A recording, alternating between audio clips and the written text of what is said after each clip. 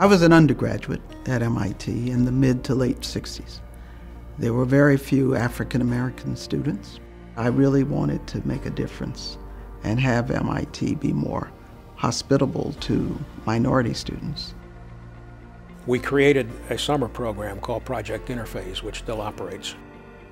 I was in the first Project Interphase, which took place in 1969.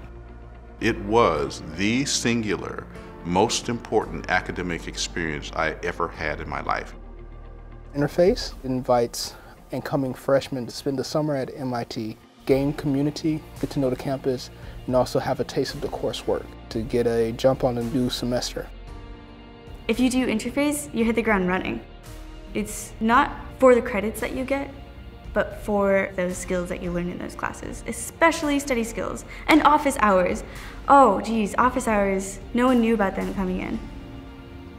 But office hours are so important. It puts you ahead and it'll let you know what you're going to see during the semester. And it really helped me in that transition. And to this day, my Interphase cohort are my closest friends. So they're the people I hang out with, the people I do homework with, I study with. I recall that experience being really instrumental in helping me to feel a part of the MIT community.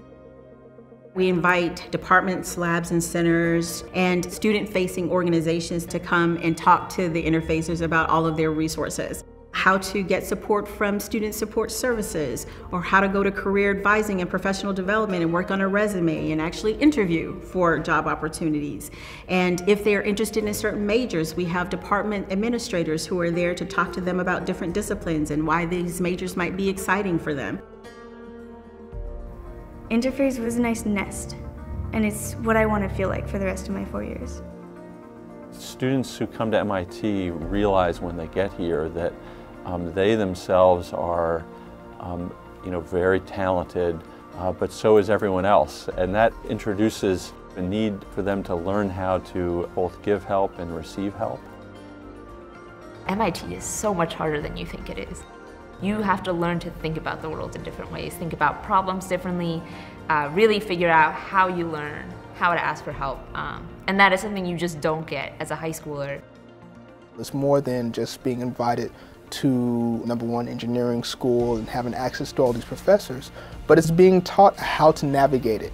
Uh, it's being comfortable in your own skin. It's feeling like you actually belong here. It's definitely a community that you stick with.